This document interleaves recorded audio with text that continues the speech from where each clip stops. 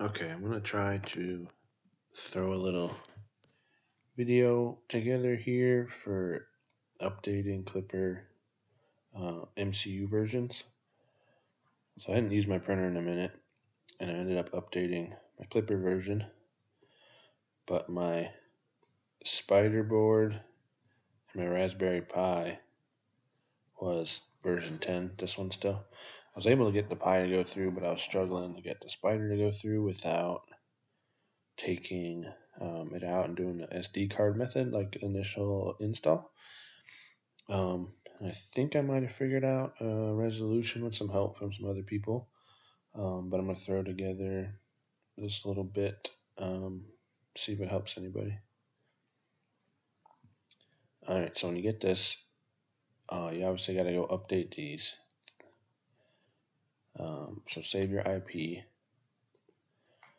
and then you need to use PuTTY unless you're on another um, machine like Ubuntu or something, or some other SSH program.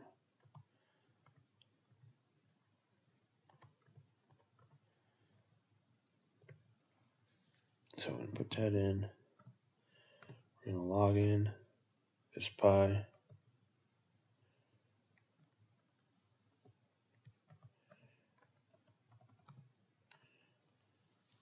Put your password in.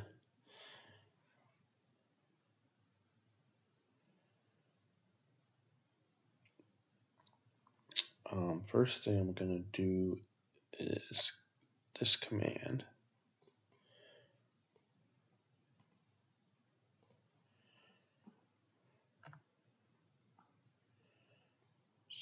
So I'm going to copy this.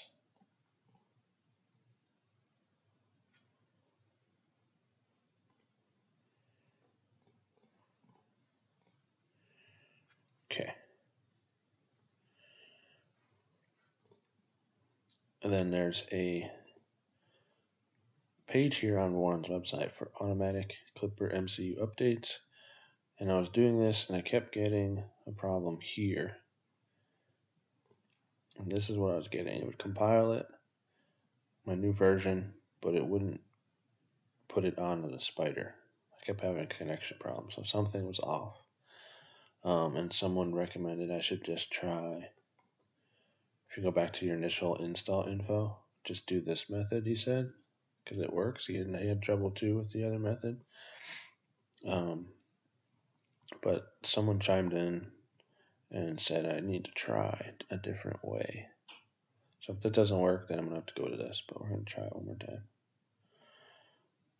Alright, so we got our Pi. So I'm going to start copying these.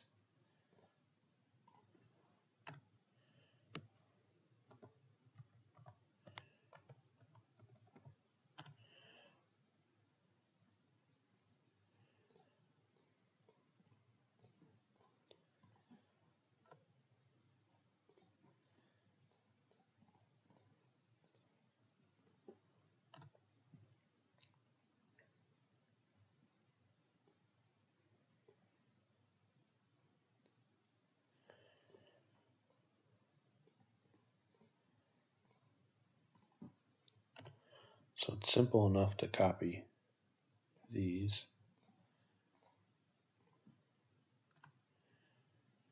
And then when you get to this page, you're creating your um, firmware again.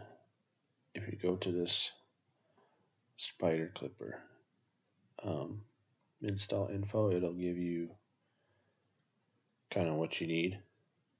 Um, and I have a version 2.2. Um, so we set that up.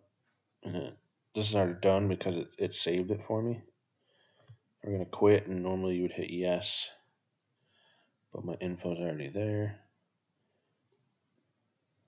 Use this one. So we're building it.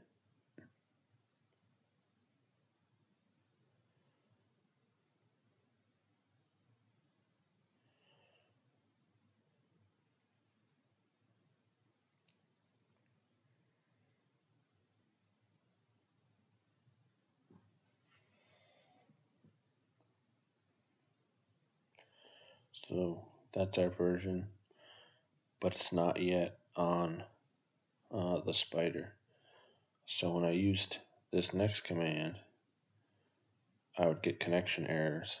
And then I saw the version 1, and I was trying to figure that out. Um, but there's only so many definitions I found stored in Klipper there.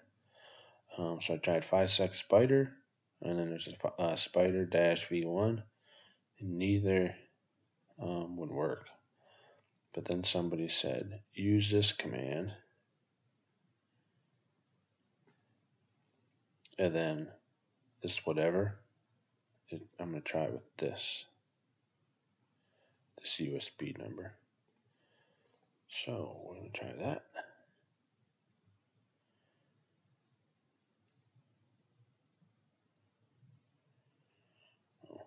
Maybe I have to do this first. So let's do delete whatever and use this part.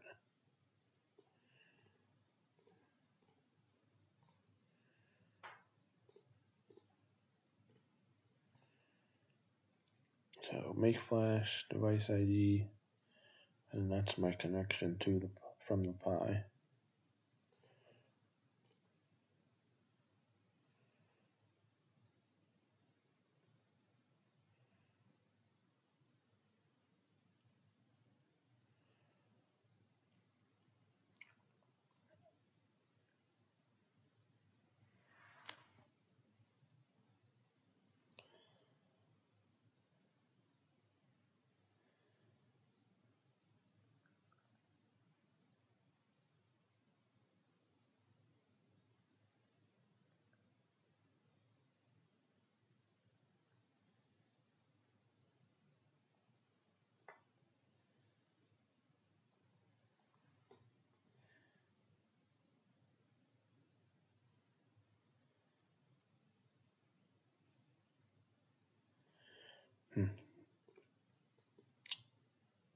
Oh, that doesn't seem to work. Let's try it again.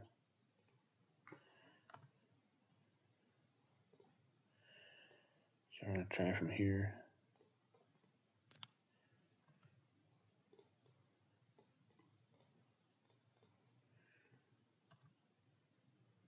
Got that again.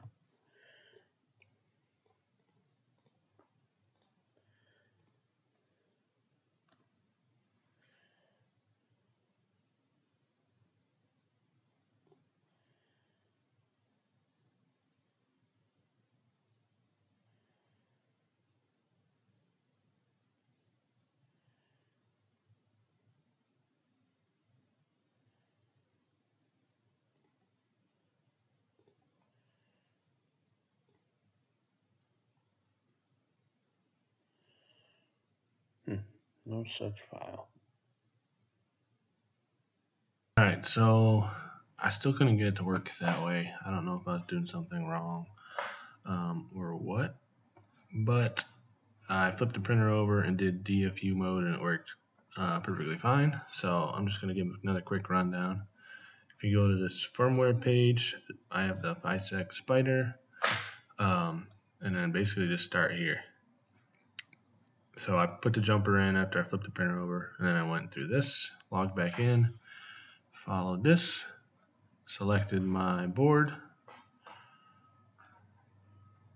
uh, run this command, followed this, hit this. Um, it'll show you four different things, and I just had to change these four digits. It was like DF one one something else. Um, turned it off. Everything was good. Uh, that updated. And then if you go back to the other page, um, you'll do it again following the commands for the Pi, which will work. But when you get to this, uh, under microcontroller, I have a Raspberry Pi 4. I just picked Linux process instead of this STM32. Um, and then that's your only choice. Quit, save, and then just follow the rest and it'll go through.